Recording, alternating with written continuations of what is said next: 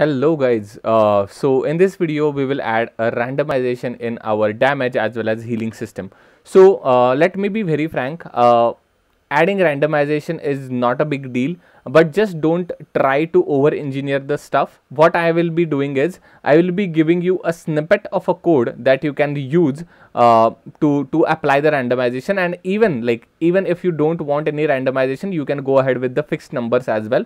But just don't worry if you are not understanding something how the randomization is working okay? Because in the c++ language you cannot generate uh, random numbers easily okay? You have to some you have to write some formula and kind of stuff. It is nothing but a formula okay? So i'm just writing uh, first of all you need to uh, include one library here hash include okay? C time okay? This is most important thing.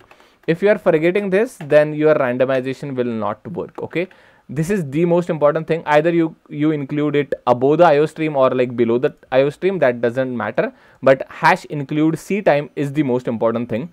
So I will quickly give you the formula to generate uh, the random numbers. Okay guys welcome back. So I have just written two lines over here okay? Just don't worry about it. First of all you need to understand uh, so in the C++ you need to make use of time to generate the random numbers. So that is what this line is doing in the function of srand that stands for s random inside that you are passing the time 0 again don't worry what is this srand what is this time in brackets 0 just follow it for now just treat it as a formula. Uh, in the advanced languages like c sharp and java like you can easily generate uh, random numbers okay? You don't write uh, you don't need to write this formula after that, I am just creating a random damage because I want a container to store the calculation after the calculation, right? Uh, or and and yeah, like I am just using this formula. This rand function is again a user uh, is inbuilt function inside C++.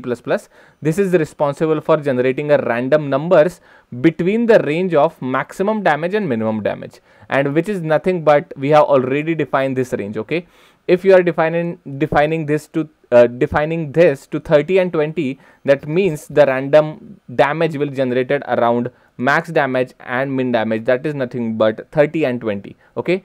30 minus 20 plus 1 uh, and plus min damage okay? So this is nothing but the formula that you can easily google and get it. But i am just uh, creating the snippet of this code as well and I am pasting it into the assignment instructions as well. You can directly use these two lines. So as I am returning 0, this doesn't make any sense. Make sure that you are returning this random damage uh, that is nothing but the new damage that we have calculated with the use of max damage and min damage okay as simple as that this is what you need to do so exact same thing we will apply while healing uh, so first of all we need to uh, get the random healing.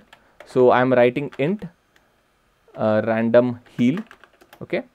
So is equal to i'm just writing rand as a function and then percentage. This is nothing but the modulus operator. Again you don't need to worry about these terms as of now. Uh, max heal healing minus min healing okay? Plus 1 okay and then plus minimum damage. Sorry not minimum damage minimum heal. Okay minimum healing.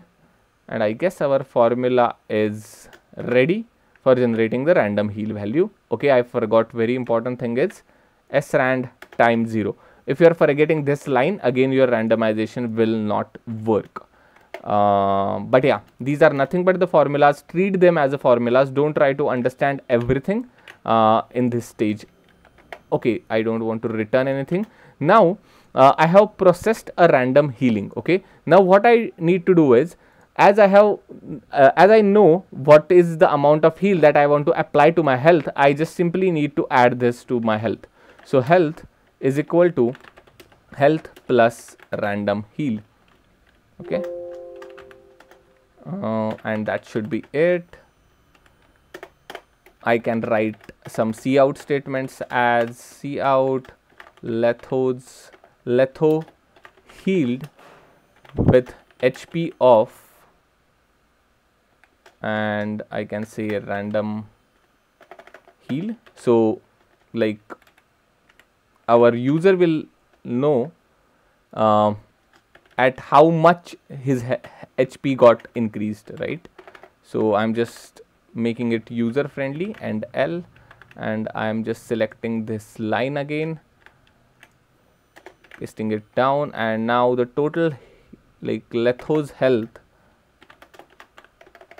after healing so just quickly tell what should be the variable name here yeah you are correct.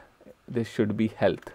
Okay because we are now telling the health of our player to our user. Okay so th so these are the two cout statements that will help our user to understand how much healing has happened to his player uh, and after healing what is the current health of the player. Okay by these two lines. So heal functionality is clear with randomization.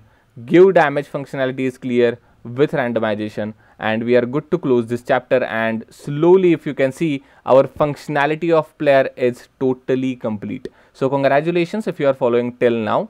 Uh, I haven't played any uh, like I haven't tested our code yet but as I have written these functionalities in the later chapters uh, I'm, I'm gonna call these public functions and I want to test out how the output will look like. Okay, thanks a lot.